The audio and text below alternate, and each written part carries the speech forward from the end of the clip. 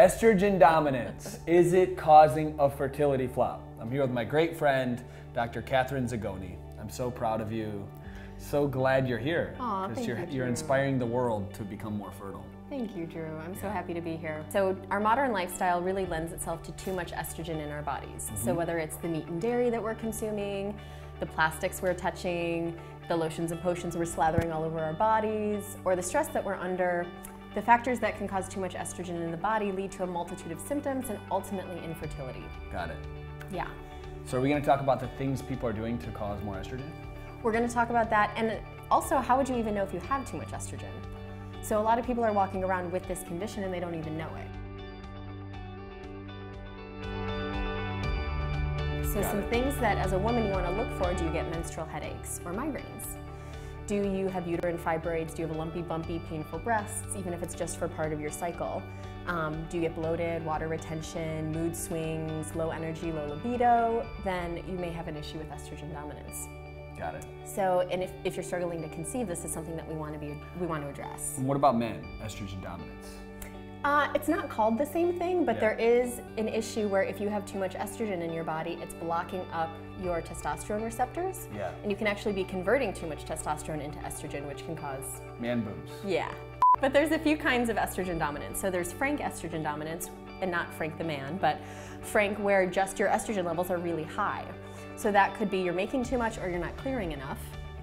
And also all the things that we have in our environment. So plastics, processed foods, processed sugar, foods, dairy, sugar, blood sugar reg- dysregulation, um, but then also anything that clogs up the liver. In that case, what we want to do is support making just what you need, not putting any of the xenoestrogens in, and doing a very healthy breakdown of estrogen through the liver. So things that do that, my favorite right here, Broccoli. broccoli. I think I might walk down the aisle with broccoli when I get married. Yeah. Instead of flowers? We'll that would be awesome. I'm a true naturopath. I would do that too. Broccoli is a cruciferous veggie. Other cruciferous veggies act the same way, and they have a compound called sulforaphane, and it actually helps process the estrogen in the body, also anti-cancer. But if you wanted to supercharge your broccoli, you would actually, you know, we talk about reversing the biological clock. What Yeah. you can do is do broccoli sprouts instead. Yeah. So they have more than 50 times the potency. So the next issue that you can have um, is estrogen dominance, but not necessarily too high of estrogen. So how does that happen? And that's actually a progesterone deficiency, but the symptoms can be very similar. So you want to make sure that you know which is which and get tested by your doctor before you start treating yourself. Although when you're treating with food, it's very safe and you can do all of the things, and I, you should do all of the things. Um, and if it's a progesterone deficiency, then we want to support that phase of the cycle. So it's super important, um, one, to get your levels checked, and two, to do everything you can to support healthy progesterone levels, because that love, the number, the amount of progesterone is going to rise exponentially once you get pregnant, and you need that for a healthy pregnancy throughout the entire nine months. So a few things you can do to support healthy progesterone levels in the body: vitamin C. So lemons are a great source of vitamin C. You can also do, you know, a supplement, 750 milligrams has been shown to improve progesterone levels. So other things that support healthy progesterone levels are um, an herb called Vitex or chaste tree berry. Um, I, even a teaspoon of the liquid herb, the extract in the morning, uh, throughout the second half of your cycle, or for some women, I have them take it the whole month. But it's really good for regulating hormones and especially supporting the progesterone. Um, and also evening primrose oil. So evening primrose oil is very high in an, a, a fatty acid called GLA, um, which is one good for skin, but also really good for that second half of the cycle. Can also help with cramps, breast tenderness, mood Wow. swings. So I would say first step is to check with your doctor. So get tested. You want to get tested at the right time of your month of the month.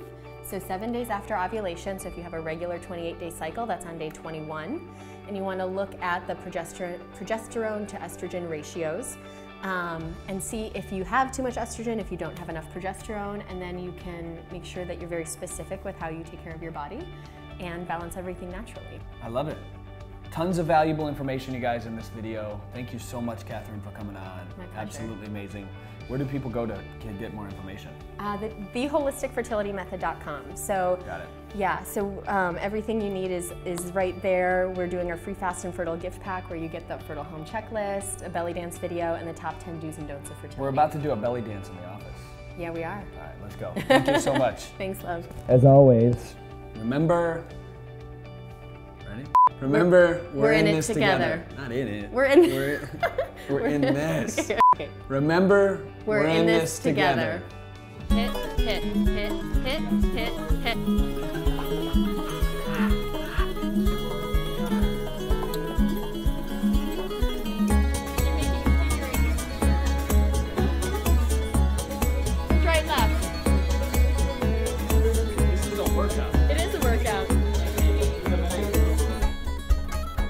On, Facebook. You know you want this.